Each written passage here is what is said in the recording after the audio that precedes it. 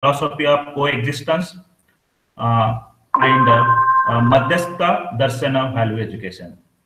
Sir has done PhD in research was on linguistic study of uh, communicability of Hindu journalism for doctoral PhD thesis, PhD awarded in the year of 2005 by the HS Gov. Sir has worked in different uh, uh, capacities for a different eminent institute. Sir has also uh, organized and hosted the seminars, workshop, conference of national and international levels.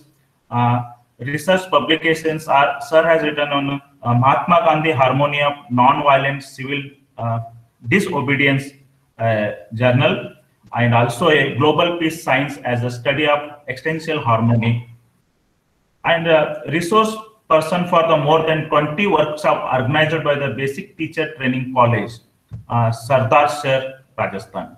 Sir has more than 16 years of uh, academic experience and professional experience in journalism. Worked as an editor, editorial advisor, news editor, chief sub-editor, general manager in the following Hindi newspaper brands in India. Dozens of articles and uh, editorial published in various newspapers, uh, newspapers, magazines, and journals. Sir, today speaking with us. Uh, today, sir, with us to speak over the universal human values. Sir, it's over to you.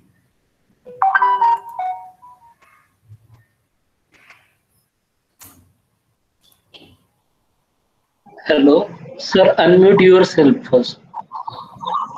Thank you. Suresh ji बहुत बहुत धन्यवाद आपने मेरा परिचय दिया. और संदीप काले जी को भी बहुत बहुत धन्यवाद मैं अपना प्रेजेंटेशन अपलोड करना चाहता हूँ है ना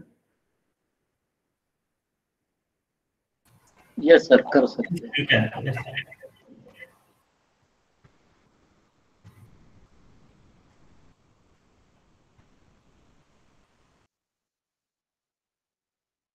प्रेजेंटेशन योर एंटायर स्क्रीन ये लेना पड़ेगा Yes, sir. Yes, sir.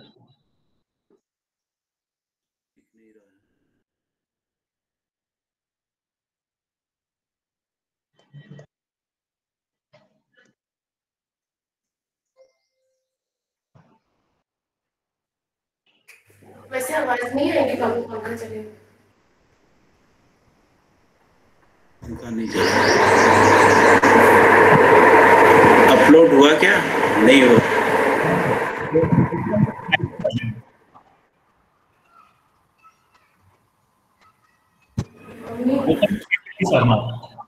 ये विंडो लेना पड़ेगा या a tab a window your entire screen इसमें से किसको सिलेक्ट करना पड़ेगा? It is screen लीजिए. Uh, now you open your PPT, sir. That will automatically display on the screen. Uh, open the PPT, sir.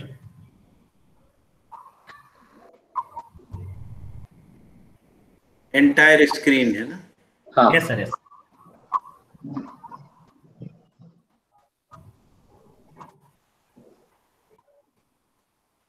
Is it visible present कीजिए ना sir present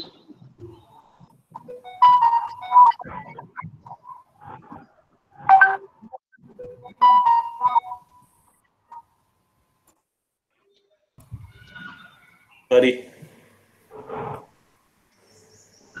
hello hello हाँ। हाँ sir sir आप present right right side में present now option है। उस पर उस पर क्लिक कीजिए। हाँ। अभी जो प्रेजेंटेशन है आपका वो ओपन कीजिए। हाँ विजिबल है सर विजिबल है? हाँ हाँ। थैंक यू मिडल वाला हाइड कीजिए। ये हाइड पे क्लिक कीजिए तो ये जो स्ट्रिप आई हुई वो निकल जाएगी। हाँ okay sir okay yes sir yes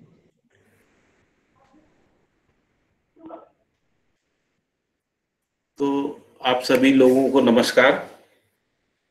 मैं पिछले दो व्याख्यान में मैंने कुछ बातें आपके सामने रखी थी। उसमें पहली बात ये रखी थी कि यदि ह्यूमन वैल्यूज़ को हमको समझना है तो इसको नेचर में या एग्जिस्टेंस में समझना होगा। क्योंकि यदि हम स्क्रिप्चर से ह्यूमन वैल्यूज़ को डराइव करते हैं तो उसमें कुछ प्रकार की समस्याएँ आती हैं।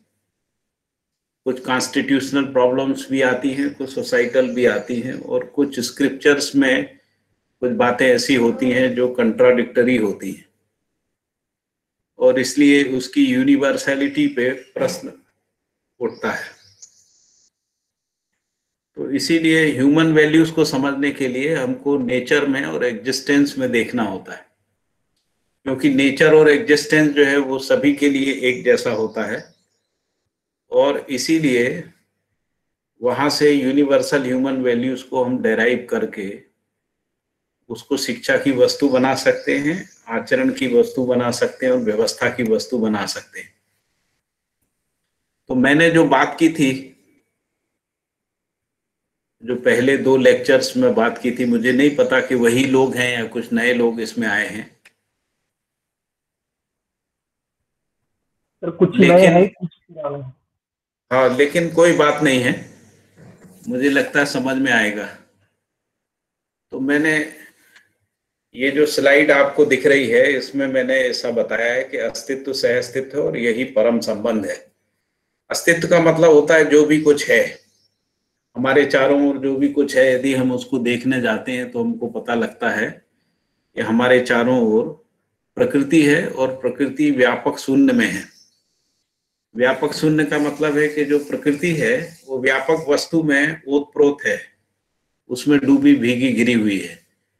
जैसे हमारी पृथ्वी है, हमारा सोलर सिस्टम है, हमारी गैलेक्सी है, या बहुत सारी गैलेक्सीज हैं, ये सारी गैलेक्सीज जो हैं क्रियाशील प्रकृति के रूप में है। और ये जो क्रियाशील प्रकृति है, ये व्यापक शून्य में है। और व्यापक शून्य और प्रकृति के बीच में एक संबंध है। उसी संबंध को कह रहे हैं कि ये परम संबंध है और दोनों साथ साथ होते हैं, क्योंकि प्रकृति को शून्य से बाहर नहीं किया जा सकता और शून्य के बिना जो है प्रकृति को पहचाना नहीं जा सकता है। तो इसलिए यदि हम आँख उठा के ऊपर की ओर देखते हैं रात में तो हमको तारा समूह दिखता है। इसको हम लोग कहते हैं कि हमारी गैलेक्सी मिल्की वे हमको दिखती है, जो बहुत सारे तारों के समूह के रूप में रहती है। ये सारे तारे के समूह जो है, वो एक व्यापक शून्य में है और इस प्रकार से प्रकृति जो है, वो दोनों के साथ में मिला के ही हम कह रहे हैं कि अस्तित्व है, प्रकृति और व्यापक शून्य। तो इसी को यहाँ लिखा है कि अस्तित्व से अस्तित्व और यही परम संबंध है। इसमें जो व्यापक शून्य है वो स्थिति में है और प्रकृति जो है वो गति में है। गति का मतलब होता है जिसमें श्रम है, गति है और कुछ ना कुछ परिणाम है। और यदि हम परिणाम को देखते हैं तो हमको पता लगता है प्रकृति में विकास क्रम विकास है। और यदि चैतन्य प्रकृति में देखते हैं तो उसमें जागृति क्रम जागृति है। इस प्रकार से हम अस्तित्व सह अस्तित्व में विकास क्रम विकास और जागृति क्रम जागृति को देखते हैं। विकास क्रम विकास पदार्थावस्था से प्राणावस्था प्राणावस्था से जीवावस्था जीवावस्था से ज्ञानावस्था के रूप में है। और जो, जिसको हम लोग जागृति कह रहे हैं, जागृति का मतलब है कि हम जीव संसार से, मानव संसार और मानव संसार से जागृति पूर्णता की ओर जो है निरंतर क्रियाशील है। हर व्यक्ति समझदार होना चाहता है और पूरा समझदार होना चाहता है, ये समझ में आता है। तो इस प्रकार से पता लगता है कि प्रकृति जो है, वो व्यापक शून्य के साथ परम संबंध में है। इसी को सह अस्तित्व कह रहे हैं और सह अस्तित्व में विकास क्रम विकास है। और ये जो विकास क्रम विकास है, इसी को मैंने कहा कि ये पदार्थावस्था, प्राणावस्था, जीवावस्था और ज्ञानावस्था में, मानव के रूप में विकास क्रम विकास को हम लोग पहचान पाते हैं। और जब हम प्रकृति का अध्ययन करते हैं तो ये पता लगता है कि प्रकृति में परस्पर पूरकता है। परस्पर पूरकता का मतलब होता है कि पदार्थावस्था के कारण से प्राणावस्था है, यानी वनस्पति संसार है। पदार्थावस्था, प्राणावस्था के कारण से जीव संसार है और इन तीनों के कारण से जो है ज्ञानावस्था का मानव है। ये एक दूसरे के पूरक हैं। पूरक इस तरीके से है? जैसे हवा, पानी, मट्टी जो है वो पदार्थावस्था से प्राणावस्था को विकसित करती है। और प्राणावस्था की जो वनस्पति संसार है, जब वो विघटित होती है, विरचित होती है, यानी मट्टी में वापस मिल जाती है तो मट्टी की फर्टिलिटी को बढ़ा देती है। इस प्रकार से म्यूचुअल फुलफिलमेंट और म्यूचुअल प्रॉस्पेरिटी की व्यवस्था जो है, हम लोग प्रकृति में देखते हैं। इसी प्रकार से पदार्थावस्था, प्राणावस्था जो है, वो जीव संसार के लिए पूरक है। और जीव संसार के विकास में उसके अस्तित्व में बने रहने में सहायक होती है। और इसी प्रकार से मानव जो है, वो पदार्थावस्था, प्राणावस्था, जीवावस्था में जो क्रम से विकास होता है, उसके कारण से मानव इस अस्तित्व में, इस पृथ्वी पर है। और मानव की सभी आवश्यकताएँ जीव संसार, वनस्पति संसार और पदार्थ संसार से पूरी होती हैं। तो इससे पता लगता है कि प्रकृति चारों अवस्थाओं की जो प्रकृति है वो परस्पर पूरक है और एक दूसरे के लिए म्यूचुअली फुलफिलमेंट का काम करती है। म्यूचुअली फुलफिल करती है। समृद्ध करती है। एक दूसरे को समृद्ध करती है, एक दूसरे के अस्तित्व को बनाए रखती है और एक दूसरे की पूरक है। कॉम्प्लीमेंट्री है। ये जो पूरकता है और उपयोगिता है और परस्पर सह अस्तित्व है, परस्पर समृद्धि है। इसी को कह रहे हैं कि अस्तित्व सह अस्तित्व के रूप में है। तो जो अस्तित्व सह अस्तित्व है, उसी का प्रकटन मैनिफेस्टेशन जो है, हम लोग इस प्रकृति में पहचानते हैं। अब प्रकृति का यदि हम अध्ययन करते हैं तो हमको ऐसा पता लगता है कि प्रकृति प्रकृति संबंध को हम जब समझते हैं, जैसे पृथ्वी का बाकी पृथ्वियों के साथ जो संबंध है या पृथ्वी में पदार्थावस्था की जो इकाई है, जैसे पत्थर है, उसका प्रकृति के साथ संबंध है। जितने भी प्रकार के प्रकृति में मटेरियल है, उनका आपस में संबंध है। और इस संबंध को हम लोग नियम, इसी संबंध में हम लोग नियम को पहचानते जैसे गुरुत्वाकर्षण का नियम है। जैसे हम एक पत्थर को छोड़ते हैं, वो नीचे की ओर गिरता है, क्योंकि पृथ्वी में एक आकर्षण बल है और उस आकर्षण बल के कारण से वो अपनी ओर खींचती है। तो ये दो प्रकृति के बीच में जो संबंध है, उसी में हम लोग नियम को पहचानते इसी प्रकार से मानव मानव के बीच में संबंध है। और मानव जो है संबंध पूर्वक अस्तित्व में आता है। माता पिता में संबंध है माता पिता के संबंध से संतान की उत्पत्ति है। संतान परिवार में जो है मानव संबंधों के बीच में ही रहता है, क्योंकि परिवार जो है, संबंधों का ताना बाना है। इसी प्रकार से समाज परिवारों का ताना बाना है। और समाज से ही विश्व विश्व समाज यानी विश्व समाज बनता है। तो इस प्रकार से व्यक्ति, परिवार, समाज, राष्ट्र और अंतरराष्ट्र जो है, वो आपस में संबंधों के ताने बाने के रूप में है। इसमें संबंध का बना रहना, उसके, उस संबंध को बने रहने के लिए जो आवश्यक वस्तु है, वो न्याय है। तो इसलिए मानव संबंध में हम लोग न्याय को पहचानते हैं या हमको न्याय का अनुभव होता है। संबंध विहीनता में अन्याय का अनुभव होता है। इसी प्रकार से यदि प्रकृति में संबंध नियम पूर्वक रहता है, जैसे अभी हम लोग नियम के विपरीत उत्पादन प्रणालियों को सुनिश्चित करते हैं तो उसके कारण से प्रकृति संबंधों की उपेक्षा होती है और जो भी उत्पादन होता है, वो मानव के स्वास्थ्य, स्वस्थ रहने में सहायक नहीं होता है। यदि नियम पूर्वक उत्पादन होता है, प्राकृतिक नियमों को ध्यान में रखते हुए यदि उत्पादन प्रणालियों को सुनिश्चित किया जाता है तो वह मानव के स्वस्थ रहने में सहायक होता है, उसके पोषण और संरक्षण में सहायक होता है। इसी प्रकार से मानव संबंधों में यदि न्याय होता है तो मानव सुखी होता है, और यदि मानव संबंध में अन्याय होता है तो मानव दुखी होता है। तो इसलिए मानव संबंध पूर्वक सुखी होता है। और यदि संबंधों की उपेक्षा करता है तो वो दुखी होता है और संबंधों की उपेक्षा को ही अन्याय कह रहे हैं।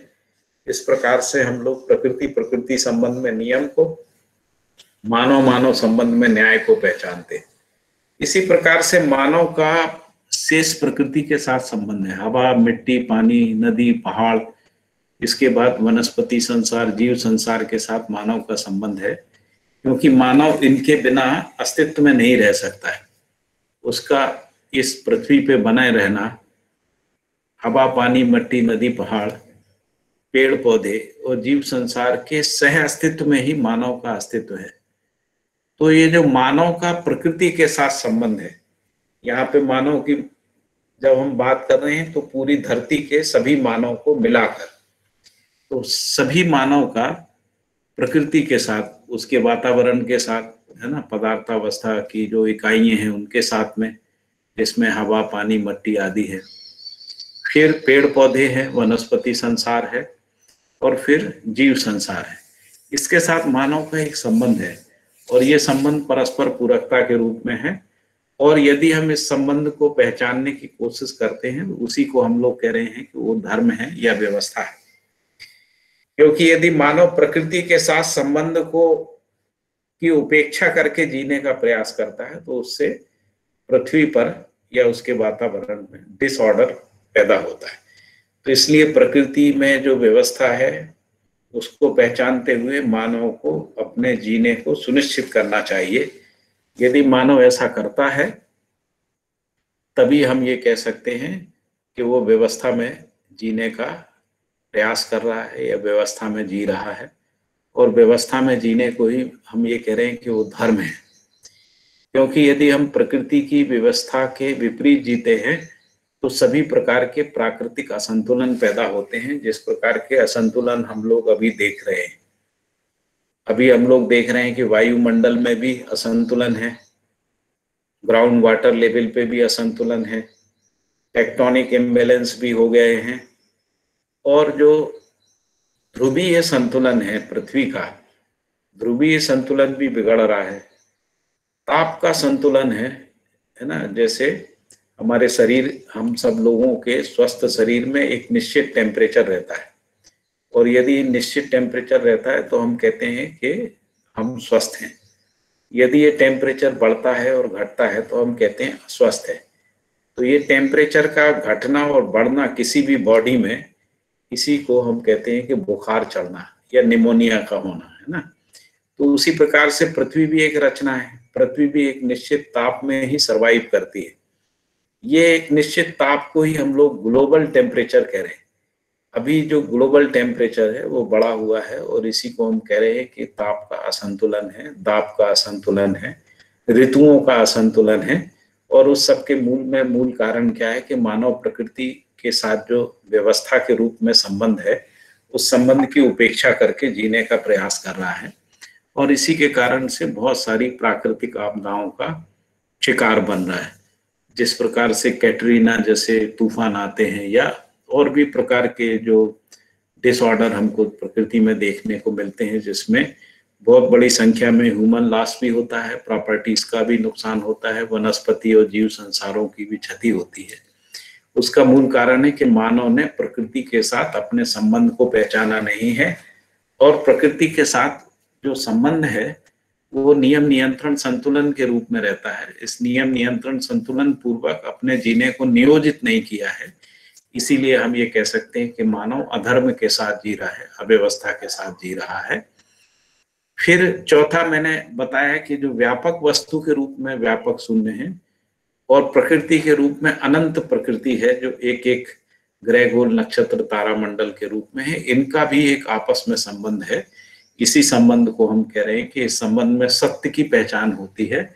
उसी को अस्तित्व से अस्तित्व के रूप में परम संबंध या अस्तित्व से अस्तित्व के रूप में परम सत्य के रूप में पहचाना जाता है। यही परम सत्य जो है वो प्रकृति प्रकृति संबंध में नियम के रूप में अभिव्यक्त होता है, मानव मानव संबंध में, न्याय के रूप में अभिव्यक्त होता है, मानव प्रकृति संबंध में, धर्म या व्यवस्था के रूप में अभिव्यक्त होता है। इस प्रकार से हम अस्तित्व से अस्तित्व को पहचान सकते हैं। अब प्रश्न उठता है कि मानव विश्वास पूर्वक जीना चाहता है तो विश्वास पूर्वक कैसे जी सकता है? तो विश्वास पूर्वक जीने के लिए मानव को नियम, न्याय, धर्म और सत्य पूर्वक जो व्यवस्था है, उस व्यवस्था को समझना होता है और उस व्यवस्था में जीना होता है। यदि मानव व्यवस्था को समझता है, तब उसमें विश्वास पैदा होता है। यदि वो व्यवस्था को नहीं समझता है और जीने का प्रयास करता है, उसमें वो धोखा खाता है, अविश्वास होता है। उसमें दुर्घटनाएँ होती हैं, उसमें आपदाएँ होती हैं और उसमें जो भी डिसऑर्डर्स होते हैं, असंतुलन होता है, अनियंत्रण होता है और उसके कारण से मानव को जीना नहीं बनता है। तो यदि मानव जीना चाहता है और वो भी सुख पूर्वक जीना चाहता है तो उसको नियम, न्याय, धर्म सत्य पूर्वक जो व्यवस्था है, उस व्यवस्था को समझना होता है और उस व्यवस्था को समझकर, व्यवस्था के अनुरूप जीना होता है, तभी मानव विश्वास पूर्वक इस पृथ्वी पर अनंत काल तक जी सकता है। फिर आगे यदि हम इसको समझने की कोशिश करते हैं तो विश्वास ही संबंध का आधार होता है। जैसे मानव मानव संबंध में यदि हम देखते हैं तो मानव मानव संबंध में यदि परस्पर विश्वास होता है, तभी संबंध होता है। यदि विश्वास नहीं होता है तो संबंध नहीं होता है। तो कोई भी रिलेशनशिप जिसको कहते हैं उस रिलेशनशिप में यदि म्यूचुअल ट्रस्ट है, परस्पर विश्वास है तभी संबंध है और यदि परस्पर विश्वास नहीं है तो संबंध नहीं है। मानव संबंध विहीनता में यानी अकेले नहीं जी पाता है। और यदि कोई अकेले जीने का प्रयास करता है तो वो सुखी नहीं होता है। क्योंकि संबंधों में विश्वास पूर्वक जीने में ही सुख है। इसीलिए इस स्लाइड में मैंने लिखा है कि हम सभी विश्वास पूर्वक संबंध में जीना चाहते हैं। और विश्वास में ही यदि विश्वास है तो मानव जीवन में सुख है, शांति है, संतोष है, आनंद है। यदि मानव जीवन में अविश्वास है तो दुख है, अशांति है, असंतोष है और अनानंद है, ऐसा हम लोग कह सकते हैं। और यदि जीवन में सुख, शांति, संतोष, आनंद है तो यही हमारे मानव जीवन में प्रसन्नता का, खुशी का, हर्ष का, उमंग का, उल्लास में रहने का कारण होता है। और इन सबको मिला के ही हम ये कह सकते हैं उत्सव पूर्वक जीना। यदि हमारे जीवन में सुख, शांति, संतोष, आनंद है, प्रसन्नता है, खुशी है, हर्ष है, उमंग है, उल्लास है, इसका मतलब है कि हम उत्सव पूर्वक जी पा रहे हैं। और यदि इसके विपरीत है, दुख है, अशांति, असंतोष है, अनानंद है, प्रसन्नता की जगह खेद है है ना, खुशी की जगह दुख है, हर्ष की जगह विमर्श अमर्श है और उमंग की जगह डिप्रेशन है, उल्लास की जगह दुख है। यदि ऐसा है तो हम कहेंगे कि हम उत्सव पूर्वक नहीं जी पा रहे हैं। तो मानव को उत्सव पूर्वक जीने के लिए विश्वास को समझना होता है विश्वास पूर्वक जीना होता है। विश्वास को समझने के लिए अस्तित्व में जो नियम, न्याय, धर्म, सत्य है, उसको समझना होता है। और नियम, न्याय, धर्म, सत्य के रूप में ही अस्तित्व में व्यवस्था है। और अस्तित्व में व्यवस्था को समझकर व्यवस्था में जीना ही मानव में उत्सव पूर्वक जीने का स्रोत है। इस प्रकार से हम लोग विश्वास के महत्व को पहचान सकते अब प्रश्न उठता है कि क्या है विश्वास? और तो यदि हम विश्वास को समझने का प्रयास करते हैं स्वयं में तो हम इस प्रकार से समझ पाते हैं कि समझ ही विश्वास है। यदि हमारे अंदर ना समझी है तो अविश्वास है। यदि हमारे अंदर समझदारी है तो विश्वास है। समझकर जीना ही विश्वास है। यदि हम समझकर जीते हैं तो विश्वास रहता है। यदि हम समझे बिना जीते हैं तो अविश्वास रहता है आशंका रहती है, भय रहता है। और यदि हम समझ कर जीते हैं तो हमारे अंदर विश्वास रहता है। समझ की कमी होती है तो विश्वास की कमी होती है। यदि समझ पूरी होती है तो विश्वास पूरा रहता है। तो नासमझी के रूप में अविश्वास रहता है। ना जी पाने के रूप में अविश्वास रहता है।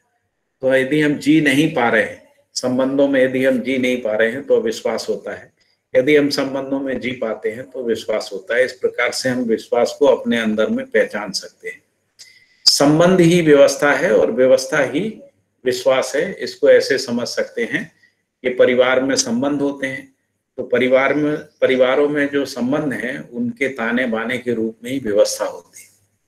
यदि परिवार में संबंध विहीनता होती है तो परिवार अस्त व्यस्त होते हैं, यानी अव्यवस्था का शिकार होते हैं। और यदि परिवार में संबंध है, आपस में विश्वास है, आपस में स्नेह है, एक दूसरे के प्रति सम्मान है, एक दूसरे के प्रति सहयोग का भाव है तो हम ये कह सकते हैं कि उनमें संबंध है और वो परिवार व्यवस्था में जी रहे हैं। और यदि व्यवस्था में कोई परिवार जीता है तो उस परिवार में विश्वास रहता है उस परिवार में जीने वाले सभी लोगों में विश्वास रहता है। तो विश्वास को समझना विश्वास पूर्वक जीना सभी मानव चाहते हैं। विश्वास में नहीं जी पाते हैं, यही उनके दुख, पीड़ा, संतरास आदि का कारण होता है। अब प्रश्न है कि समझना क्या है? जैसे ये लिखा है कि समझ ही विश्वास है, समझकर जीना ही विश्वास है। और समझ की कमी ही, विश्वास की कमी है, और ना समझी में ही अविश्वास है, जी ना पाना ही अविश्वास है। तो प्रश्न उठता है कि समझना क्या है?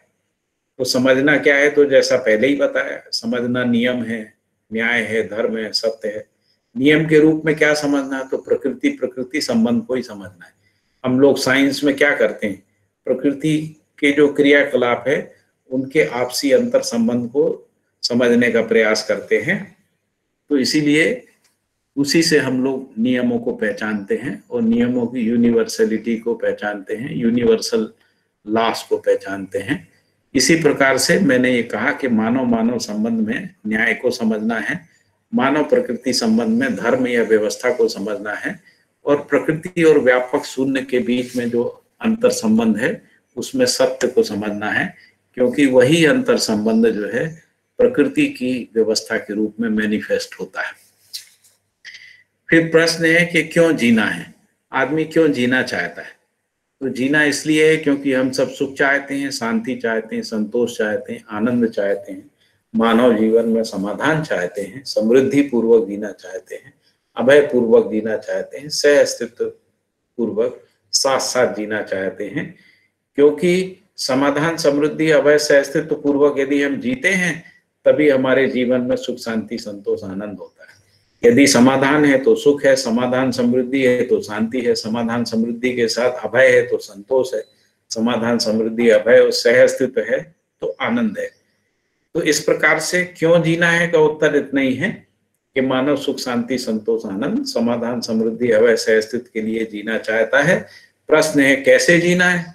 तो उत्तर यही है, नियम पूर्वक जीना है, न्याय पूर्वक जीना है, धर्म पूर्वक जीना है, सत्य पूर्वक जीना है ऐसा जीते हैं तभी सुख, शांति, संतोष, आनंद जो है वो उपलब्धि के रूप में प्राप्त होता है।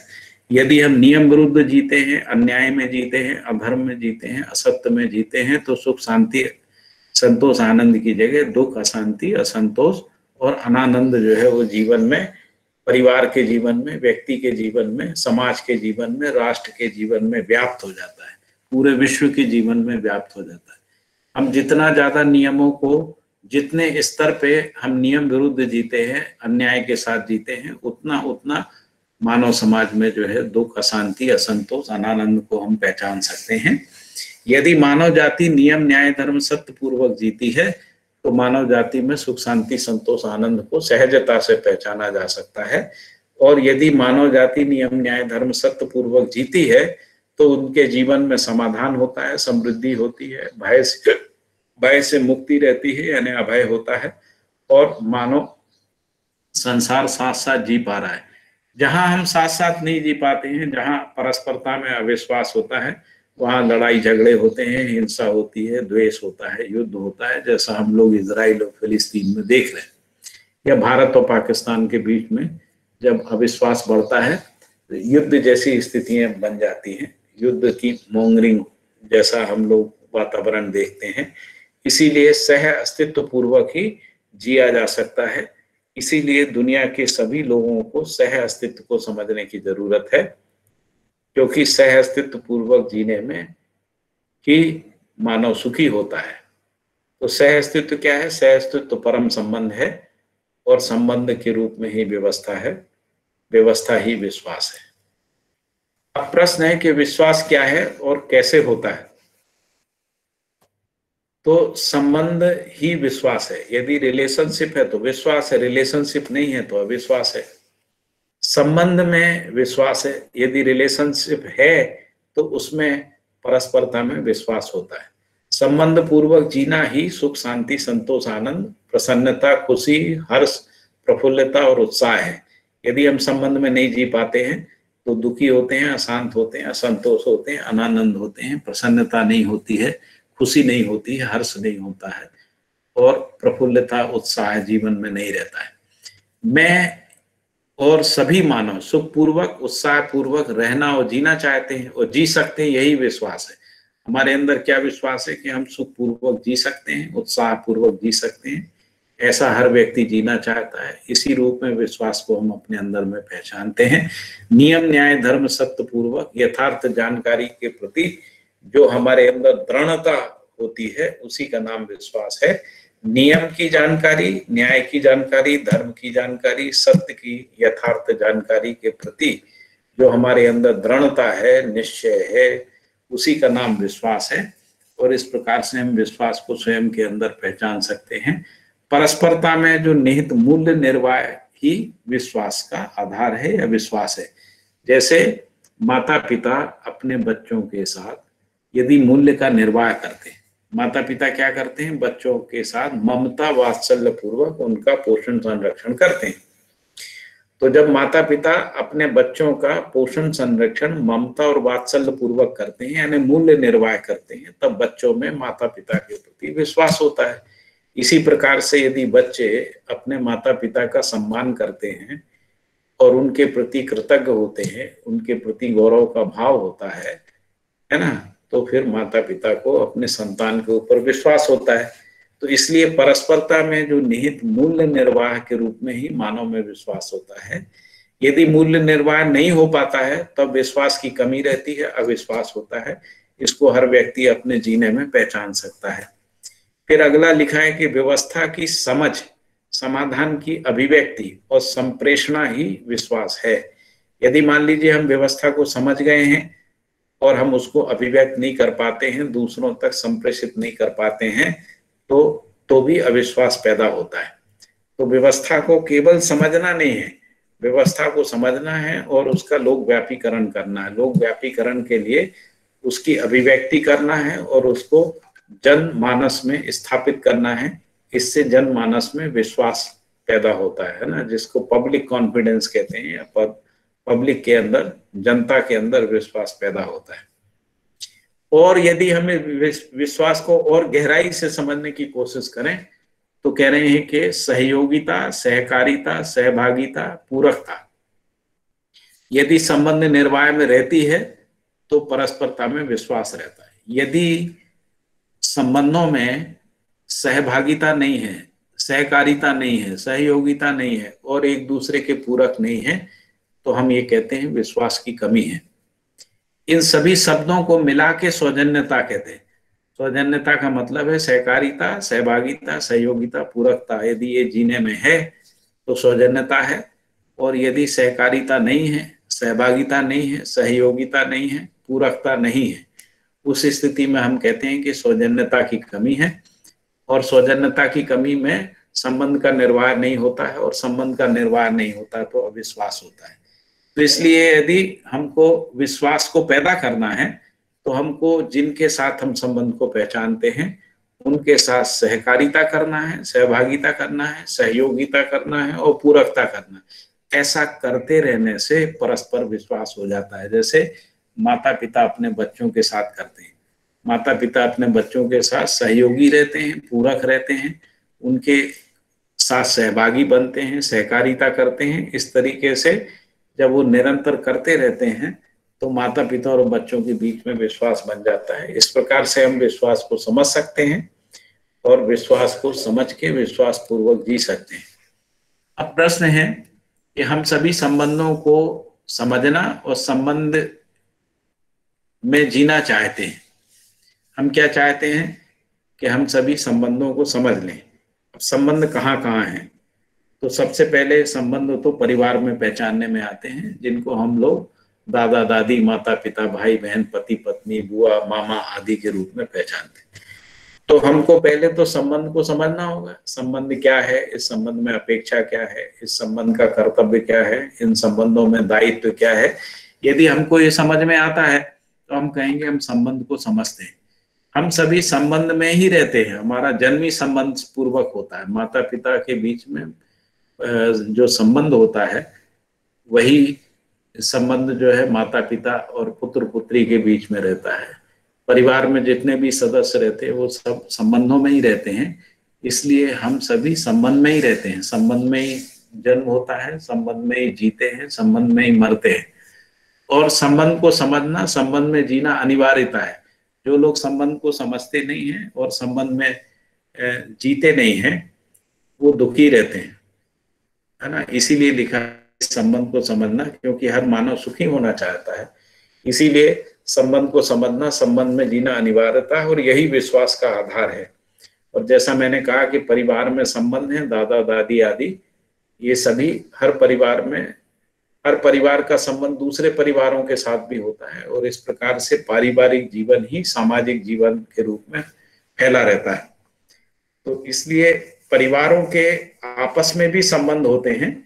जैसे ये बुआ और मामा के रूप में जो परिवार है, वो दो परिवारों के बीच में आपस में संबंध होते हैं और यही संबंध जो है धीरे धीरे बढ़ते बढ़ते सामाजिक जीवन के रूप में आकार ले लेते हैं। परिवार परिवार के रूप में ही समाज होता है, जिसको हम समाज कहते हैं। कई बार हम लोग गलती से व्यक्ति व्यक्ति के रूप में समाज मान लेते हैं। लेकिन व्यक्ति में व्यवस्था का प्रमाण नहीं होता है।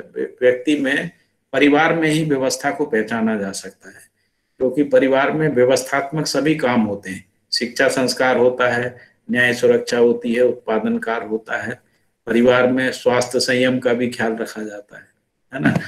तो इसलिए परिवार में एक व्यवस्था का स्वरूप पहचानने में आता है।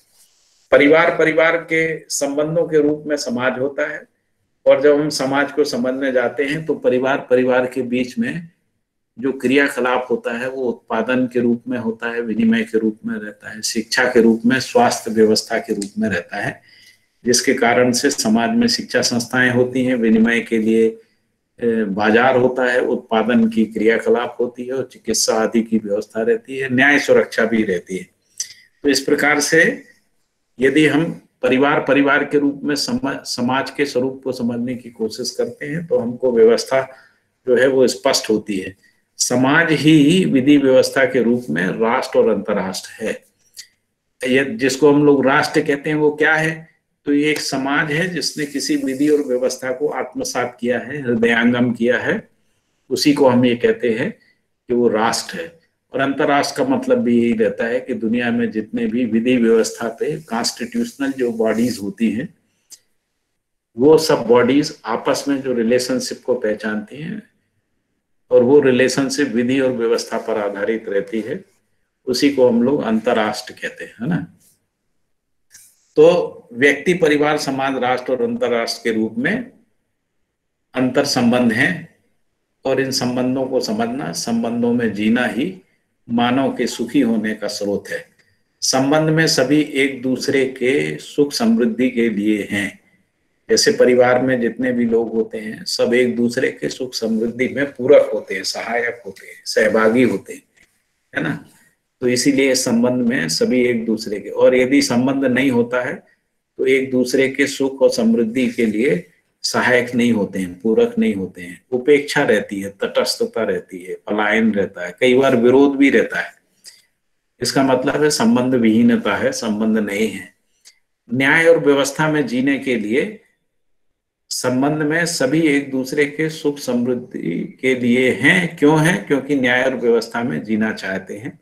संबंधों में ही स्नेह है, प्यार है, ममता है, वात्सल्य है, सम्मान है, गौरव है, कृतज्ञता है और इसके साथ साथ कर्तव्य दायित्व है। कर्तव्य का मतलब होता है कि जो भरण पोषण संबंधी जो कार्यक्रम है, उसको कर्तव्य कहते हैं। और दायित्व का मतलब होता है जो शिक्षा संस्कार संबंधी कार्यक्रम परिवार में होता है। तो जब हम बच्चों को शिक्षित करते हैं, संस्कारित करते हैं, यानी दायित्व है, और जब हम बच्चों का पोषण करते हैं, संरक्षण करते हैं, वो कर्तव्य है। तो इस प्रकार से संबंध होता है तो स्नेह होता है, प्यार होता है, ममता होती है, वात्सल्य होता है, सम्मान होता है, और कर्तव्य और दायित्व का भाव रहता है। और यदि संबंध विहीनता रहती है तो स्नेह नहीं रहता है, प्यार नहीं रहता है, ममता नहीं रहती वात्सल सम्मान नहीं रहता है। कर्तव्य और दायित्व का भाव भी नहीं रहता है ना? क्योंकि भीड़ में तो कोई कर्तव्य दायित्व का भाव रहता नहीं। तो जब हम किसी के साथ रिलेशनशिप पहचानते हैं, तभी मूल्य बहते हैं। यदि रिलेशनशिप का पहचान नहीं होता है तो मूल्य बहते नहीं।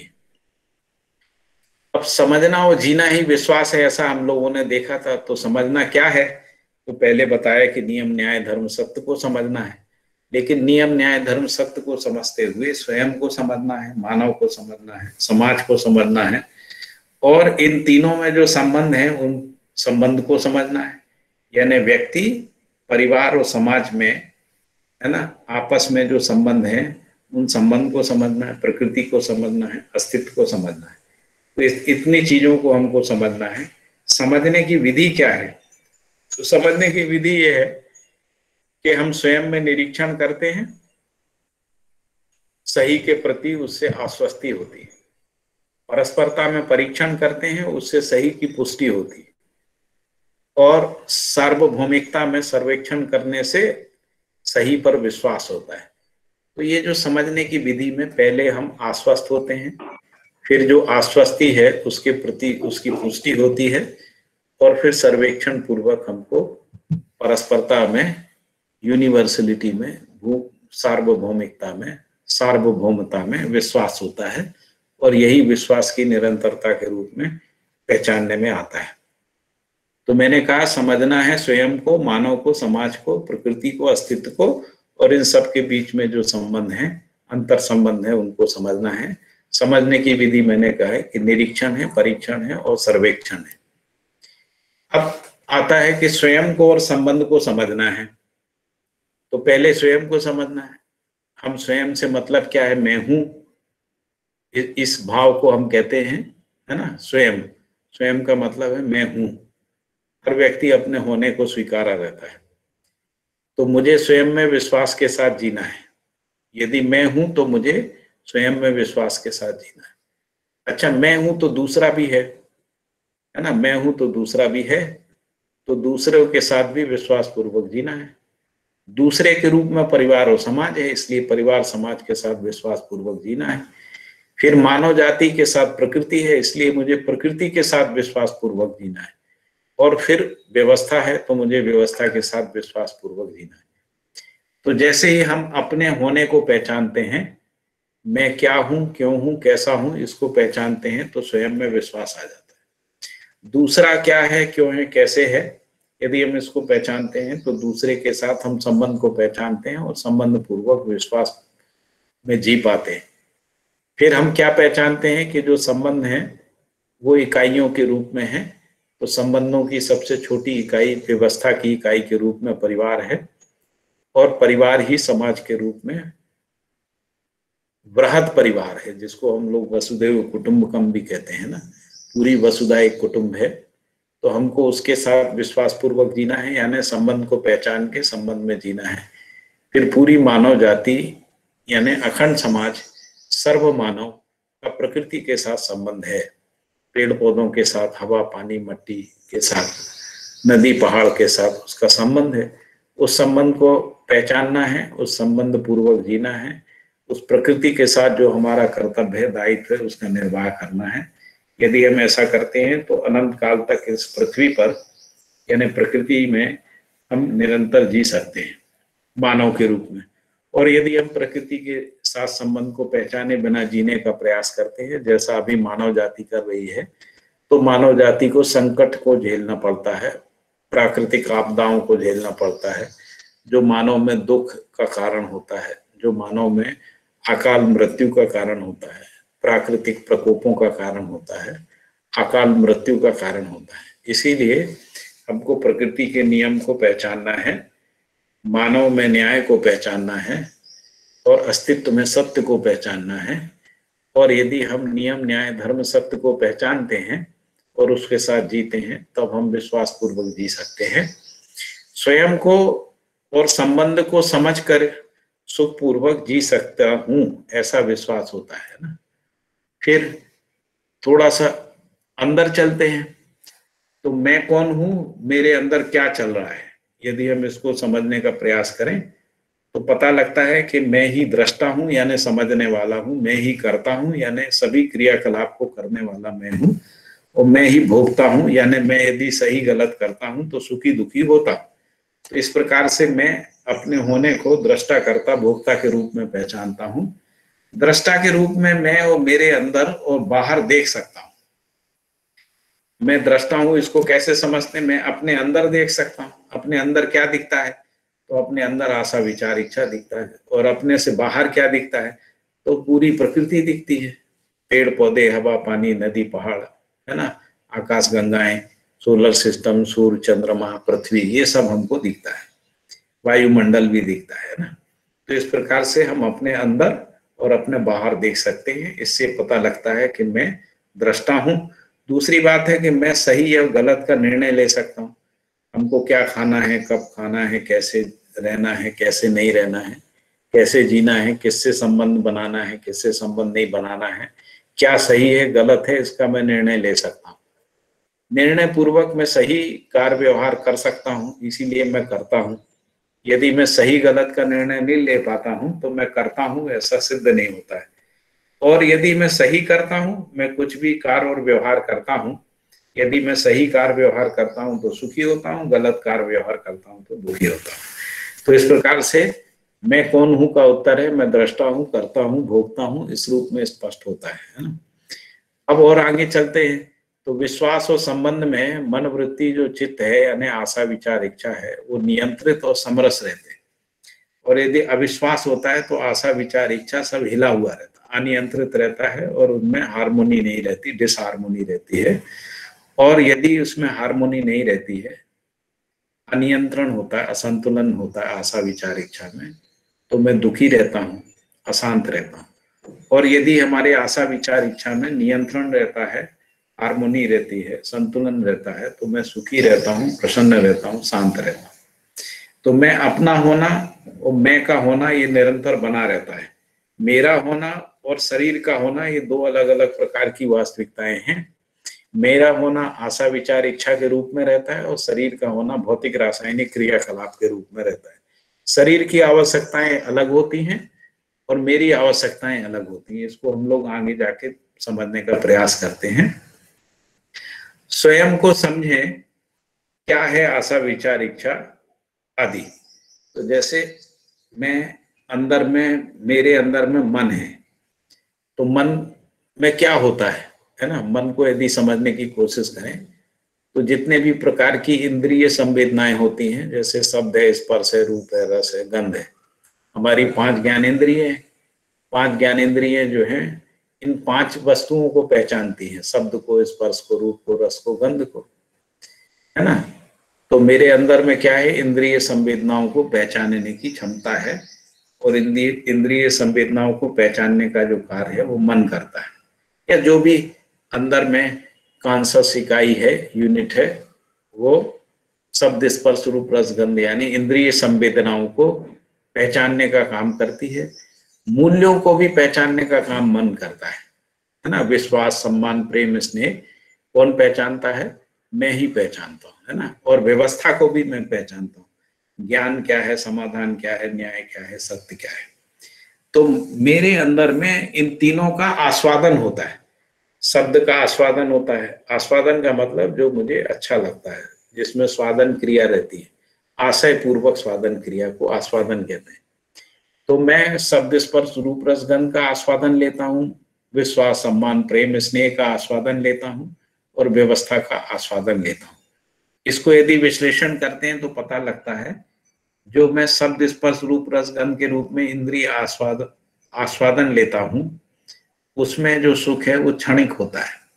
मूल्यों का जो आस्वादन लेता हूँ, इसमें दीर्घ सुख रहता है। और जो व्यवस्था का आस्वादन लेता हूँ, ज्ञान का, समाधान का, न्याय का, सत्य का आस्वादन लेता हूँ, वो निरंतर होता है। क्योंकि जब मुझे कोई चीज़ समझ में आ जाती है तो उस समझ की निरंतरता रहती है, इसलिए निरंतर सुखी रहता हूँ। तो इस प्रकार से हम अपने मन में क्षणिक सुख को, दीर्घ सुख को, नित्य सुख को इन तीन प्रकार के आस्वादनों के आधार पर पहचान सकते हैं। आस्वादनों के आधार पर सुख के लिए हम लोग वस्तु, संबंध और ज्ञान का चयन करते हैं। तो हमारे अंदर आस्वादन की क्रिया होती है और साथ साथ चयन की क्रिया होती है। तो चयन की क्रिया में हम क्या करते हैं? तो हम वस्तु के रूप में शब्द स्पर्श रूप रसगंध का चयन करते हैं, संबंधों का चयन करते हैं और ज्ञान और विधि व्यवस्था का चयन करते हैं। तो इस प्रकार से मन के अंदर आस्वादन और चयन नाम की क्रिया होती है। इसी प्रकार से और अंदर जाते हैं तो मेरे अंदर मन से अंदर एक वृत्ति नाम की चीज़ है। तो वृत्ति में तुलन और विश्लेषण की क्रिया होती है। तो तुलन और विश्लेषण के रूप में विचार का क्रिया होता है और विचार का क्रिया ज़्यादा सुख पहचानने की क्रिया है। विचार से समाधान, ज्ञान, विवेक और विज्ञान समझने की क्रिया जो है विचार पूर्वक होती है। इसलिए हम हम लोग जो है अपने अंदर में तुलन और विश्लेषण नाम की क्रिया को भी पहचान सकते हैं। इसके बाद मेरे अंदर चित्त नाम की एक तीसरी क्रिया है।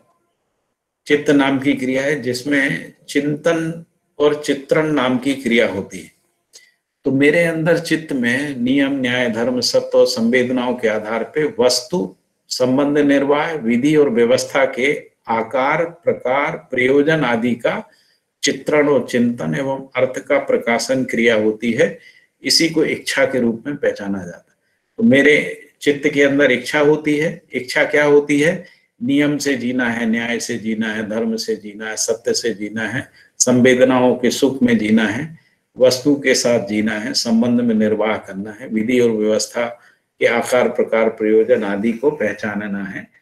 और उसी के रूप में चिंतन और चित्रण नाम की क्रिया होती है और इसी का नाम इच्छा है। तो मेरे अंदर चित्त में चित्रण, चिंतन क्रिया होती है जो इच्छा के रूप में रहती है। और मेरे अंदर क्या है? तो मेरे अंदर में बुद्धि है। बुद्धि में हम क्या, बुद्धि का मतलब क्या है? तो समझ की निरंतरता के रूप में हमारे अंदर जो बना रहता है, उसको बोध कहते हैं। न्याय, धर्म, सत्य के साथ जीने का संकल्प होता है।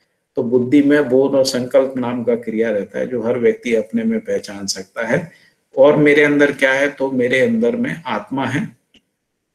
आत्मा को ही मैं या स्वयं कहते हैं। सह अस्तित्व में समझ का अनुभव और प्रमाण की क्रिया होती है।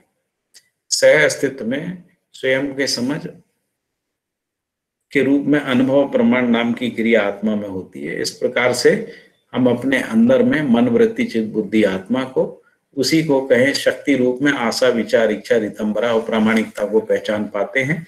यदि इसी को क्रिया के रूप में देखें तो हमारे अंदर में आस्वादन, चयन क्रिया है, तुलन विश्लेषण क्रिया है, चित्रण, चिंतन क्रिया है, बोध और संकल्प क्रिया है, अनुभव, प्रमाण क्रिया है। इस प्रकार से हम स्वयं को पूरा समझ सकते हैं, पूरा अध्ययन कर सकते हैं। मैं तो इस सबको मिला के, ये पाँचों चीज़ें, मन, वृत्ति, चित्त, बुद्धि, आत्मा, इसको मिला के जीवन कहते हैं। मैं जीवन हूँ, मेरे अंदर में विश्वास या अविश्वास है। मैं जीने वाला जीवन हूँ, मैं अपनी चाहना पूर्ति के लिए शरीर का उपयोग करता हूँ।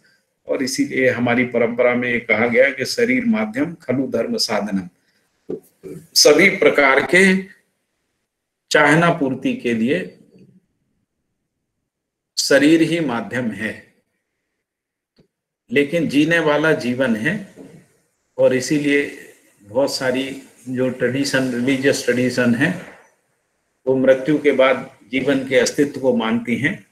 जैसे हिंदू थियोलॉजी है या क्रिश्चियन और इस्लाम है, वो भी ये मानते हैं कि मरने के बाद जो है, कोई एक जीवन नाम की क्रिया बनी रहती है। कुछ लोग उसको आत्मा कहते हैं, कुछ सोल कहते हैं कोई रूह कहते हैं, इस तरीके से कहते हैं। यदि हम इसको अस्वीकार भी कर दें कि जो धार्मिक ट्रेडिशन में इस तरीके की बात की गई है तो भी मेरे अंदर में आशा, विचार, इच्छा, रितंबरा, प्रामाणिकता तो होती ही है, क्रियाकलाप के रूप में, जब तक मैं मानव के रूप में जीता हूँ। तो मैं जीने वाला जीवन हूँ, मैं अपनी चाहना पूर्ति के लिए शरीर का उपयोग करता हूँ, मैं आशा, विचार, इच्छा का प्रयोग करता हूँ, संबंध और उत्पादन आदि के लिए समझने और जीने में इसका प्रयोग करता हूँ। आशा, विचार, इच्छा का प्रयोग कहाँ करते हैं? तो संबंध और उत्पादन आदि व्यवस्थाओं को समझने में और संबंध और उत्पादन व्यवस्था आदि के साथ जीने में। फिर है, मैं आशा विचार इच्छा को देख सकता हूँ और इन्हें समझ सकता हूँ। मैं आशा विचार इच्छा का प्रयोग कर समाधान और सुख को पहचान सकता हूँ। विश्वास में आशा विचार इच्छा, यदि विश्वास होता है तो आशा विचार इच्छा संतुलित, नियंत्रित, संयमित और निश्चित रहते हैं। और मैं सुखी, उत्साहित, हर्षित, प्रसन्न, शांत रहता हूँ और जो चाहता हूँ वो कर सकता हूँ। तो मैं अपनी बात को आगे बढ़ा रहा हूँ, लेकिन यहाँ ज़ोर से पानी गिर रहा है। तो हो सकता है कि बिजली चली जाए। बिजली चली जाएगी तो मैं फिर दूसरे दूसरे तरीके से कनेक्ट होऊँगा। मैं मोबाइल से कनेक्ट होके फिर अपनी बात को पूरा करूँगा। तो अभी तो मैं इसको कंटिन्यू करता हूँ। विश्वास में आशा, विचार, इच्छा संतुलित रहते हैं। अविश्वास में आशा, विचार, इच्छा असंतुलित रहते हैं, अनियंत्रित रहते हैं, असंयमित और अनिश्चित रहते हैं विश्वास में। इसीलिए हर व्यक्ति विश्वास पूर्वक जीना चाहता है, क्योंकि हम सभी सुख, शांति, संतोष, आनंद के साथ जीना चाहते हैं। और आगे चलते हैं तो सही जीने के लिए स्वयं और शरीर को समझना होता है। मेरी आवश्यकता पूर्ति होती है और शरीर की आवश्यकता पूर्ति होती है। मेरी आवश्यकता पूर्ति कैसे होती है?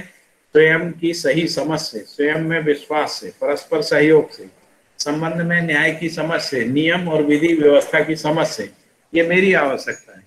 शरीर की आवश्यकता क्या है? तो रोटी, कपड़ा, मकान के रूप में आहार, आवास और अलंकार है, साधन है। विज्ञान और प्राकृतिक नियमों की समझ से आहार, आवास संबंधी आवश्यकताएँ पूरी होती हैं। उत्पादन के नियम, प्रक्रिया, विधि आदि की समझ से आहार, आवास और साधन की आवश्यकता पूरी होती है। प्रकृति पर निपुणता, कुशलता पूर्वक श्रम नियोजन करने से आहार, आवास, साधन संबंधी शरीर की आवश्यकताएँ पूरी होती है। लेकिन प्राकृतिक नियमों की समझ से, उत्पादन नियम, प्रक्रिया की समझ से मेरी आवश्यकता पूरी नहीं होती। मेरी आवश्यकता सही समझ से होती है, जो संबंध की समझ के रूप में ही रहती है, जिसको हम न्याय की समझ कह रहे हैं, धर्म की समझ कह रहे हैं, व्यवस्था की समझ कह रहे हैं, और नियमों की समझ भी कह रहे हैं, क्योंकि नियम पूर्वक जीना मेरी आवश्यकता है। तो इस प्रकार से मेरी आवश्यकता और शरीर की आवश्यकता के भेद को हम लोग समझ सकते हैं। मेरी आवश्यकता, विश्वास, सम्मान, प्रेम, स्नेह, ममता, वात्सल्य, समझ के साथ जीना है। शरीर की आवश्यकता, आहार, आवास और साधन आदि के रूप में है। मेरी शरीर की आवश्यकता पूर्ति से मेरी आवश्यकता पूरी नहीं होती है और मेरी आवश्यकता पूरी होने से शरीर की आवश्यकता पूरी नहीं होती है। दोनों के लिए अलग अलग कार्यक्रम है। शरीर की आवश्यकता पूर्ति के लिए हमको विज्ञान या प्राकृतिक नियमों को समझना होता है, उत्पादन के नियम को समझना होता है, उसकी प्रक्रिया को समझना होता है, उत्पादन विधि को समझना होता है। प्रकृति में निपुणता, कुशलता पूर्वक श्रम नियोजन को समझना होता है। तभी जाके शरीर की आवश्यकताएँ यानी रोटी, कपड़ा, मकान की आवश्यकताएँ पूरी होती हैं। तो इसीलिए दोनों के लिए अलग अलग कार्यक्रम है। तो यहाँ पर लिखा है कि मानव के अंदर दो प्रकार की चीज़ें होती हैं। एक है सुख के रूप में और दूसरी है सुविधा के रूप में। सुविधा शरीर के साथ जुड़ती है और सुख जो है जीवन के साथ यानी मेरे साथ जुड़ता है। इस प्रकार से मानव को दोनों की आवश्यकता है, शरीर की भी आवश्यकता है और जीवन की भी, शरीर की भी और जीवन की भी आवश्यकता है।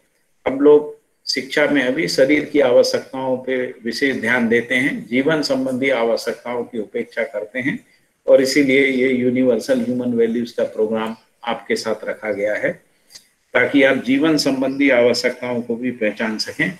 क्योंकि हमारा सर्वाधिक जीना जो है वो शरीर के साथ नहीं होता है। हमारा सर्वाधिक जीना स्वयं के साथ होता है, क्योंकि हम आशा, विचार, इच्छा से एक क्षण के लिए भी विमुख नहीं होते हैं। इसलिए हम, हमारा जो निरंतर जीना होता है वो आशा, विचार, इच्छा के साथ संबंधों में जीने के रूप में होता है, ज्ञान के साथ जीना होता है, विधि, व्यवस्था के साथ जीना होता है, जिसमें निरंतर जीना होता है। अब यहाँ पर फिर से एक बार सह अस्तित्व के सिद्धांत को समझाने का प्रयास किया है। व्यक्ति, परिवार, समाज और विश्व में अंतर संबंध है। व्यक्ति से परिवार है, परिवार से समाज है, समाज से राष्ट्र और राष्ट्र से अंतरराष्ट्र है। सभी एक दूसरे के लिए है। मानव समाज सह अस्तित्व में है। मेरे विकास और जागृति में दूसरे का सहयोग अनिवार्य है। मेरे विकास और जागृति में दूसरे का सहयोग अनिवार्य है। इसलिए सहयोग जो है वो च्वाइस नहीं है। अनिवार्य है। यदि ये पूरा नहीं होता है तो फिर विकास और जागृति रुक जाती है। विकास, जागृति रुकती है तो मानव दुखी हो जाता है। और मानव की जो आवश्यकताएँ हैं, वो भी एक दूसरे के सहयोग से ही पूरी होती हैं। तो इससे पता लगता है कि मानव समाज परस्पर पूरक है और सह अस्तित्व में है। इसी को यदि हम प्रकृति में देखते हैं तो जैसे व्यक्ति, परिवार, समाज और विश्व अंतर संबंध में है, वैसे ही प्रकृति भी अंतर संबंध में है। पदार्थावस्था, प्राणावस्था, जीवावस्था, ज्ञानावस्था आपस में अंतर संबंध में है। एक दूसरे से है। एक दूसरे से है मतलब पदार्थावस्था से प्राणावस्था है, प्राणावस्था से जीवावस्था है, इन तीनों अवस्थाओं से मानव है। इसलिए लिखा है, एक दूसरे से है, एक दूसरे के लिए है, एक दूसरे के साथ हैं। मानव के विकास में पदार्थावस्था, प्राणावस्था, जीवावस्था का श्रम और पूरकता है। यदि मानव के विकास में पदार्थावस्था यानी नदी, पहाड़ आदि पर्यावरण यदि अपना योगदान ना करें तो मानव का विकास संभव नहीं है।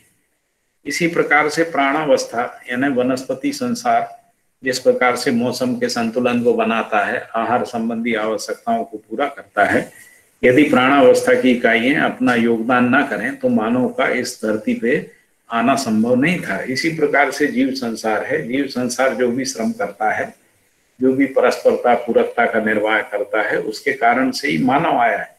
यदि हम मानव शरीर रचना को समझने का प्रयास करते हैं तो मानव शरीर रचना जीव संसार में जो क्रमिक विकास हुआ है, उसका परिणाम ही मानव का शरीर है। कुछ लोग इसको एवोल्यूशन भी कहते हैं, है ना? तो इसलिए मानव जो है जीव संसार से विकसित के रूप में पहचानने में आता है।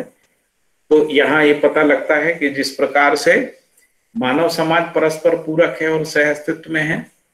उसी प्रकार से प्रकृति भी अंतर संबंध में है सह अस्तित्व में है, चारों अवस्थाएँ जो है परस्पर पूरक हैं। यही प्रकृति का सिद्धांत है। इसी सिद्धांत के आधार पर मानव समाज को हम समझ सकते हैं। मानव समाज कैसा है? तो व्यक्ति, परिवार, समाज और विश्व के रूप में मानव समाज है, जिसमें आपस में अंतर संबंध है। इस अंतर संबंध को पहचान के इसके साथ जीने से ही मानव निरंतर सुख को प्राप्त कर सकता है।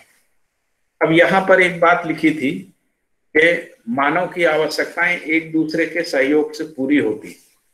दूसरी बात यह लिखी थी कि मेरे विकास और जागृति में दूसरे के का सहयोग अनिवार्य है।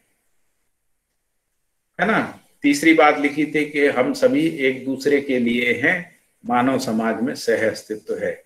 सह अस्तित्व है एक बात सहयोग की अनिवार्यता है, विकास और जागृति एक दूसरे के सहयोग से ही होती है और मानव की सभी प्रकार की आवश्यकताएँ सहयोग से पूरी होती है। और ये सहयोग कैसा होता है?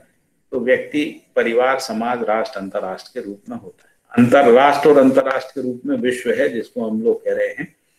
तो व्यक्ति की आवश्यकता परिवार से पूरी होती है, परिवार की आवश्यकता समाज से पूरी होती है, समाज की आवश्यकता विश्व से पूरी होती है।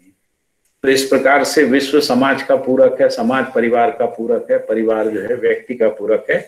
इसी प्रकार से परिवार, व्यक्ति परिवार में अपनी भागीदारी करता है, परिवार समाज में भागीदारी करता है, समाज विश्व में भागीदारी करता है। इस प्रकार से परस्पर पूरकता, परस्पर संबंध, परस्पर अंतर संबंध एक दूसरे के प्रति जो परस्पर पूरकता है उभय समृद्धि है।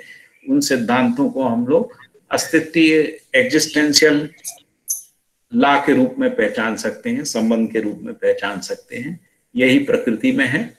और इसीलिए, क्योंकि हम लोग आपस में एक दूसरे के साथ संबंध में हैं, एक दूसरे के विकास और जागृति के बिना, एक दूसरे के विकास और जागृति में हम सहायक होते हैं, दूसरे लोग हमारे विकास और जागृति में सहायक होते हैं।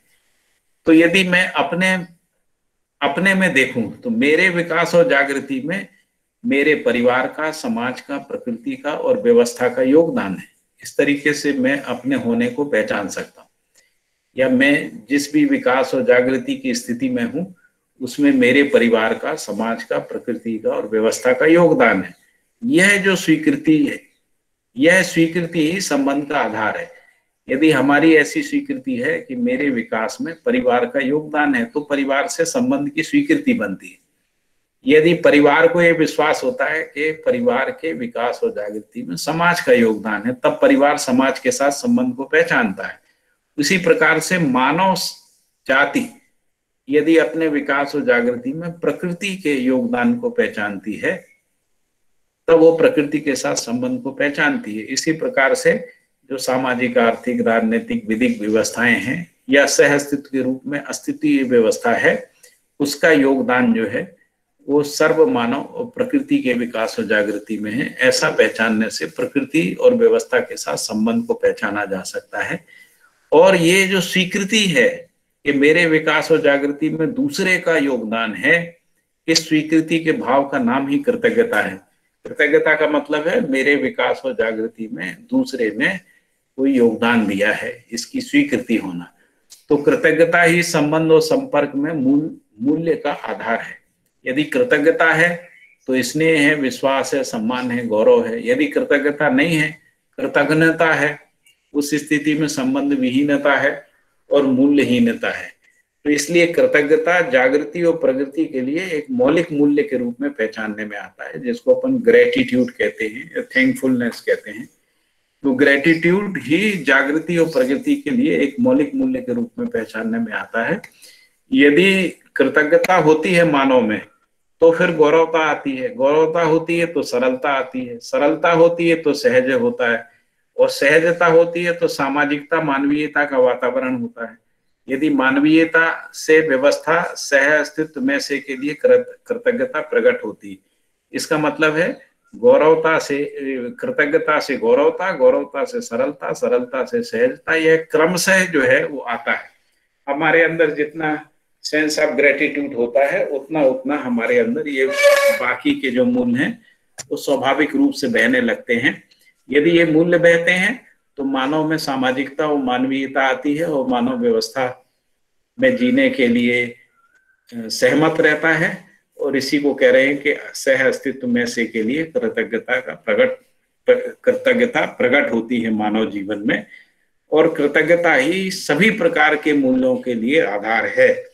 यदि ग्रेटिट्यूड नहीं है तो विश्वास नहीं है। ग्रेटिट्यूड नहीं है तो स्नेह नहीं है, सम्मान नहीं है, गौरव नहीं है, श्रद्धा नहीं है, प्रेम नहीं है। क्योंकि अगर ग्रेटिट्यूड ही नहीं है तो प्रेम कहाँ से आएगा? तो इसलिए सभी मूल्यों का जो स्रोत है, वो कृतज्ञता है। इस प्रकार हम लोग कृतज्ञता को पहचान सकते हैं। फिर आगे है, मानव संबंधों सहित ही जन्म लेता है। जैसा मैंने बताया कि हम सब माता पिता से जन्म लेते हैं और हम जन्म से ही माता पिता के साथ संबंध को पहचाने रहते हैं। फिर माता पिता के साथ हम लोग परिवार के अन्य लोगों के साथ संबंध को पहचानते हैं। इस प्रकार से हम लोग मानव संबंधों में ही जन्म लेते हैं। हर संबंध में कर्तव्य दायित्व निर्वाह की सहज स्वीकृति होती है। जैसे माता पिता संतान को जन्म देते हैं। जन्म देते साथ ही माता पिता में उनके प्रति पोषण और संरक्षण का भाव आ जाता है। बच्चे को खिलाना है, पिलाना है, स्वस्थ रखना है, शिक्षित करना है, संस्कारित करना है, इसकी सहज स्वीकृति होती है। है ना? तो संबंध में कर्तव्य दायित्व निर्वाह की सहज स्वीकृति होती है। और यदि संबंध नहीं होता तो कर्तव्य दायित्व का भाव नहीं होता है, यानी स्वीकृति नहीं होती है। तो इसलिए संबंध स्वीकारते साथ ही कर्तव्य दायित्व की बात आती है। जैसे आप परिवार को छोड़ दें, यदि मित्र संबंध को भी देखें तो यदि हम किसी को मित्र स्वीकार करते हैं, तब कर्तव्य दायित्व की बात आती है। यदि मित्र के रूप में हम संबंध को स्वीकारते नहीं है तो कर्तव्य दायित्व की बात नहीं आती है। इसी प्रकार से यदि हम गुरु के रूप में किसी को स्वीकार करते हैं, या हम शिष्य के रूप में किसी को स्वीकार करते हैं, तभी हमारा कोई कर्तव्य होता है, दायित्व होता है। यदि हमने किसी को गुरु के रूप में या शिष्य के रूप में स्वीकार नहीं किया है तो कर्तव्य दायित्व हमको पहचानने में नहीं आता है।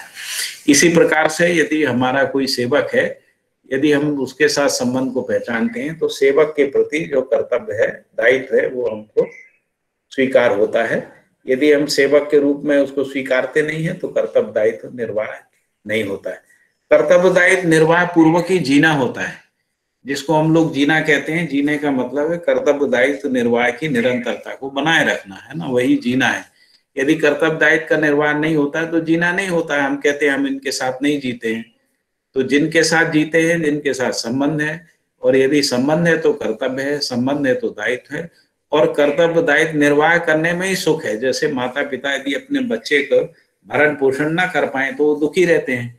इसका मतलब कर्तव्य दायित्व कोई बोझ नहीं है। कर्तव्य दायित्व पूर्वक ही माता पिता सुखी होते हैं। इस प्रकार से हम लोग कर्तव्य दायित्व की निरंतरता को पहचान सकते हैं। मानवीय क्रियाकलाप संबंधों का विस्तार ही है।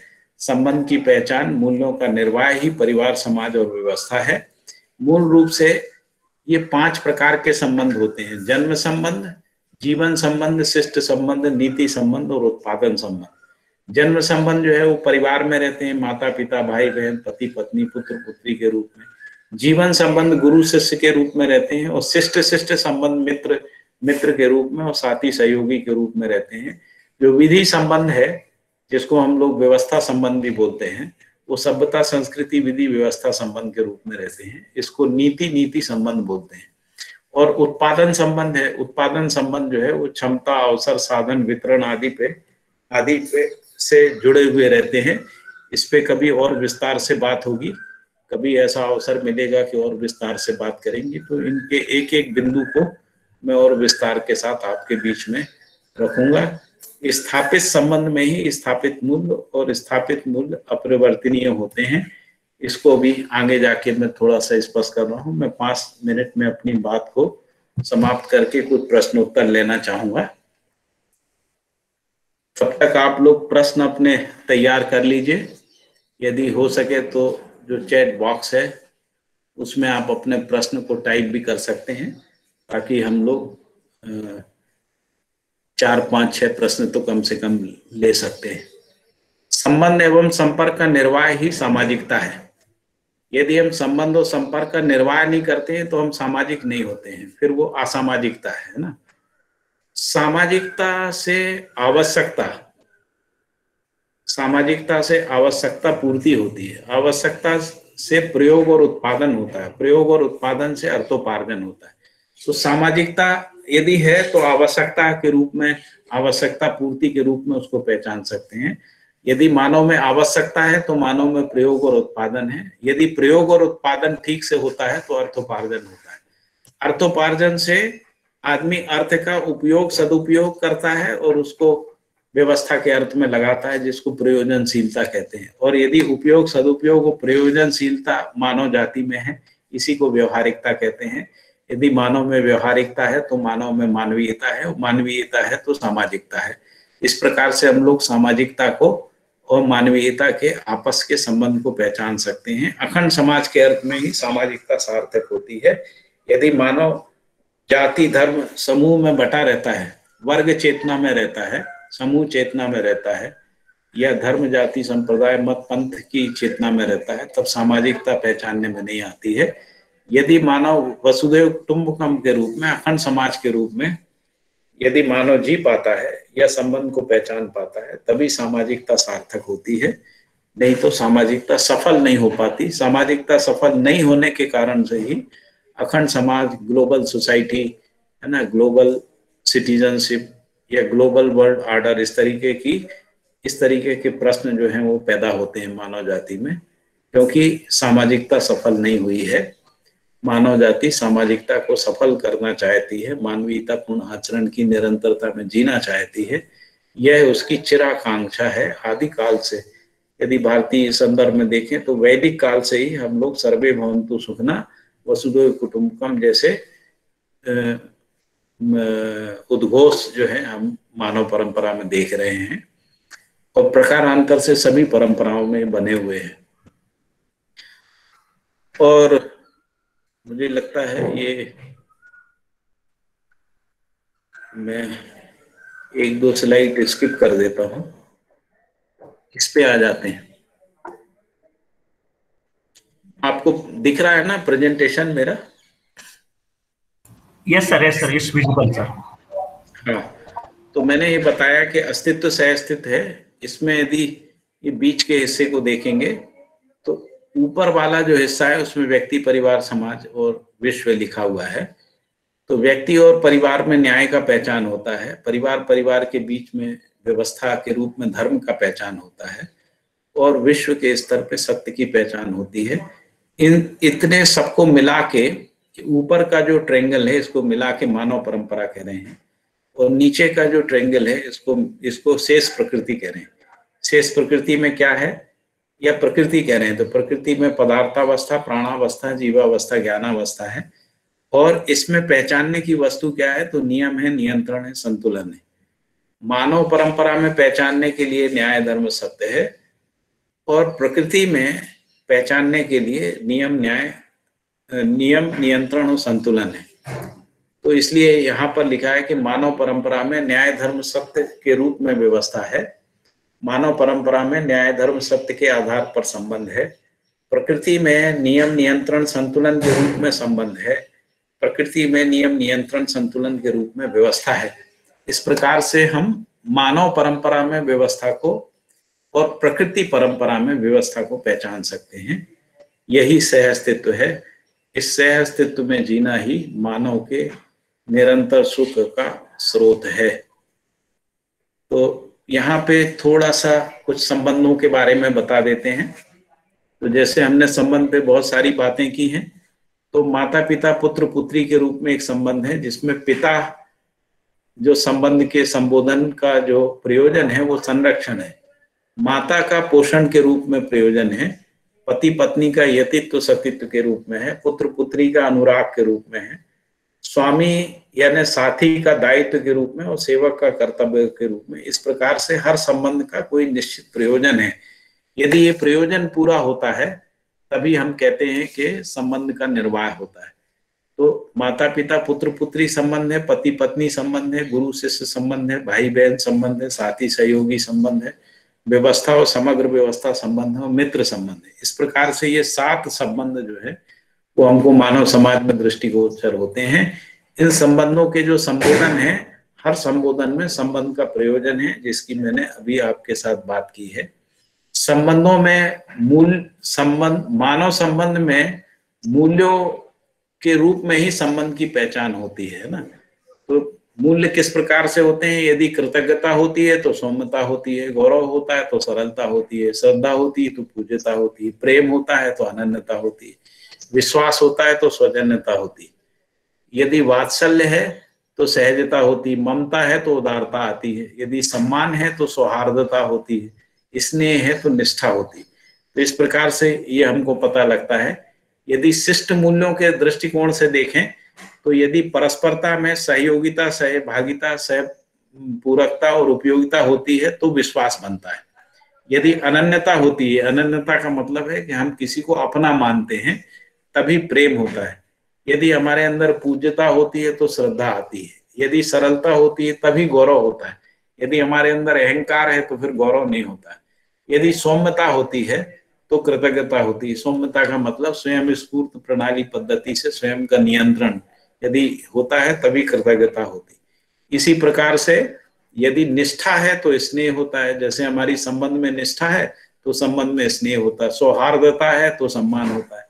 यदि माता में उदारता है तो माता में ममता के रूप में पहचानी जाती है। इसी प्रकार से यदि संबंध में सहजता है तो वात्सल्य के रूप में पहचानी जाती है। इसलिए माता पिता माता पिता और मामा काका, ताऊ, दादा, दादी आदि सब सहज होते हैं अपने संतानों के प्रति। इसी सहजता के भाव को ही वात्सल्य के रूप में पहचाना जाता है। इस प्रकार से हम सभी मूल्यों को पहचान सकते हैं। मुझे लगता है कि अभी समय काफ़ी हो गया है। दो बज के अड़तालीस मिनट हो गया है। मैं कुछ प्रश्न ले लेता हूँ।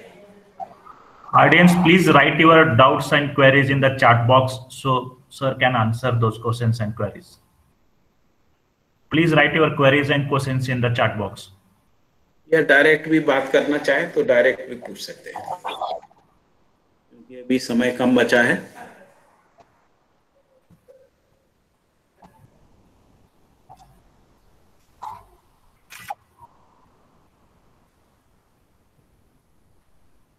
Any queries? I hope no queries are there, If sir. any queries, Sir, if any query, Yes, unmute welcome. yourself and then आपने पत्रकारिता के लिए काम किया है तो आपको क्या लिखा है? थोड़ा एक बार पढ़ देंगे क्या प्रश्न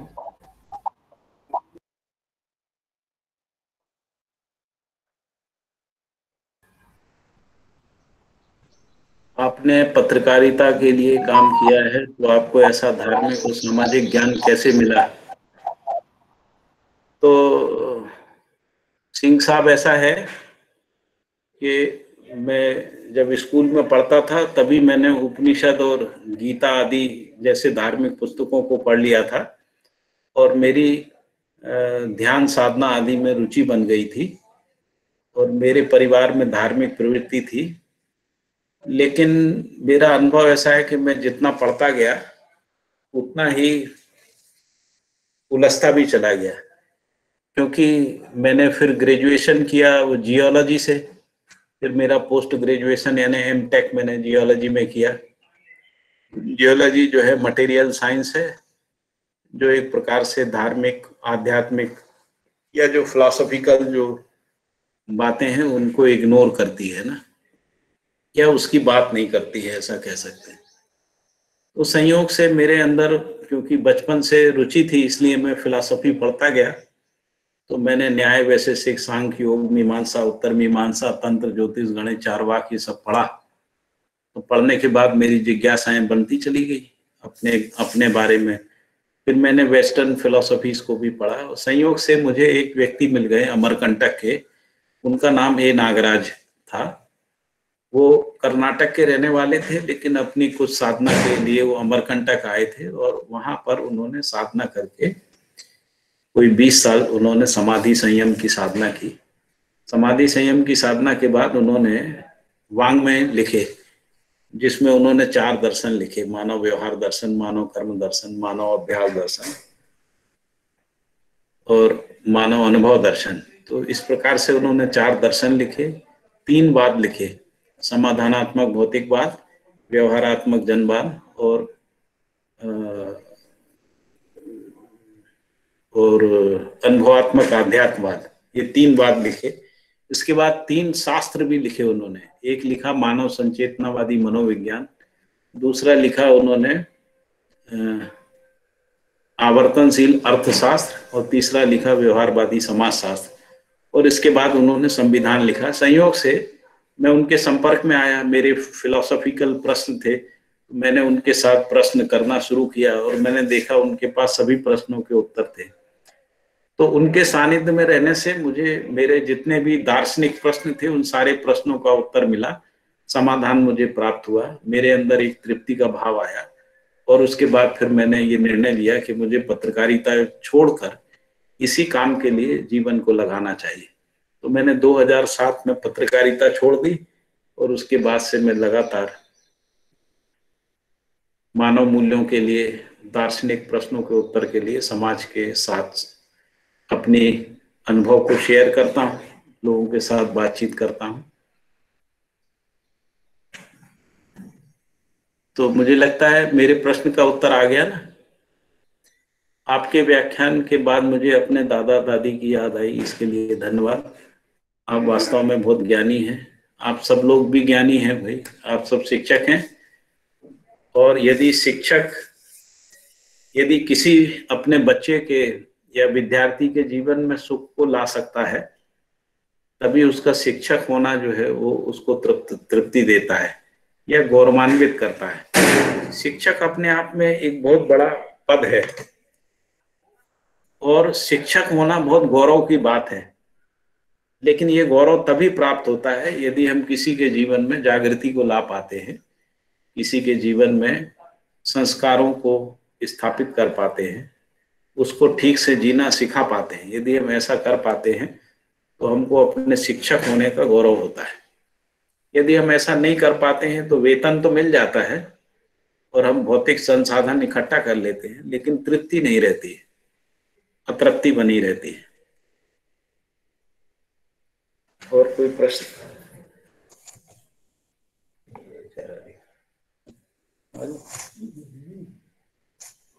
हाँ जी। हमारे मन में जो चल रहा है ये सही है या गलत है कैसे समझें? बिल्कुल सिंपल सिंपल बात है प्रवीण जी।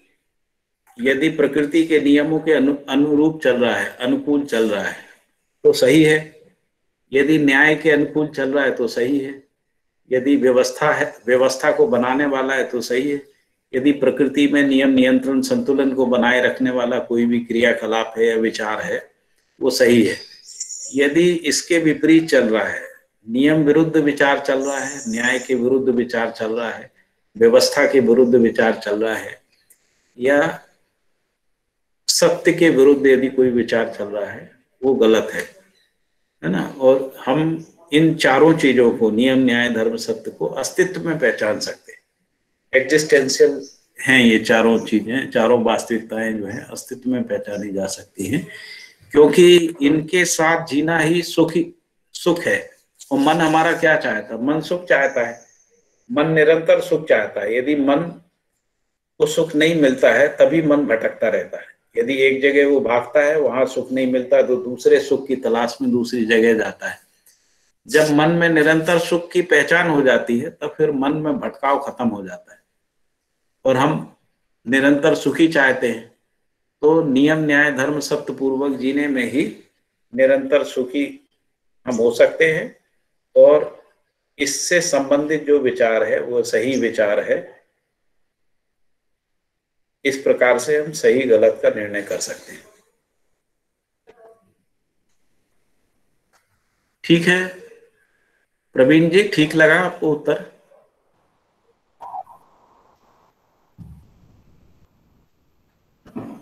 प्रवीण जी? हाँ सर। बोल रहे थे। Okay I hope queries and questions are over thank you very much sir for understanding and convincing us that niyam nyay dharma satya purvak these are the four pillars of the human values and in order to establish a universal human values, a system has to be formed by uh, establishing and empowering the relation between the individuals. And those leads to a uh, uh, leads to a peaceful universe by establishing the good result by controlling the five senses of our body. And in depth of the knowledge the principles which you have stated over today in the uh, presentation sir. And uh, that is differentiating between the need of mind and need of body and how to control it and uh, uh, another thing is that mutual involvement of the uh, each other for the leading and development of the individuals and the Vaktitva that leads to a Samaj and a Parivar that in turn leads to a Viswa. All the these four will go to empower the human life. Sir thank you very much sir at last you told me an sentence that वो मुझे बहुत अच्छा लगा sir अखंड समाज के अर्थ में ही सामाजिकता सार्थक है। ये बात मुझे बहुत अच्छा लगा सर बहुत बहुत धन्यवाद। सुरेश जी सभी शिक्षकों का बहुत बहुत धन्यवाद। संदीप काले जी का बहुत बहुत धन्यवाद। आपके जो कॉलेज के डायरेक्टर हैं प्रिंसिपल हैं उन सबका भी जो डीन है उन सबका बहुत बहुत धन्यवाद बहुत बहुत आभार मुझे आपके इस सेशन तीन सेशन जो है मुझे अपनी बात रखने के लिए आपने मुझे अवसर दिया उसके प्रति मैं आप सबका बहुत बहुत कृतज्ञ हूँ बहुत बहुत धन्यवाद आभार व्यक्त करता हूँ Thank you, sir. Once again, thank you on behalf of the audience and the organizing committee, sir. Thank you very much. Time दिवन मैं ये जो पीपीटी है, वो आपको व्हाट्सएप पे या ईमेल पे भेज दूँगा तो आप सबके साथ शेयर कर सकते हैं। Okay sir we will share with all the audience thank you sir